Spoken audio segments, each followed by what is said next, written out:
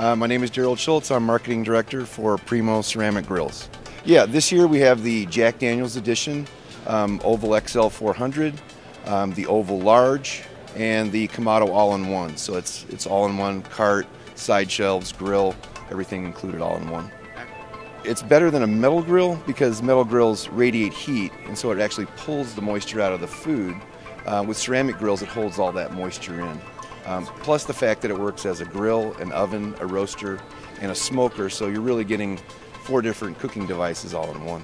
Today we're, we're a 92,000 square foot facility, so uh, it's quite a, really the American uh, American Dream success story. I've heard that Primo's been talked about here. Uh, we've heard heard that from several people, so uh, we've had a good experience here.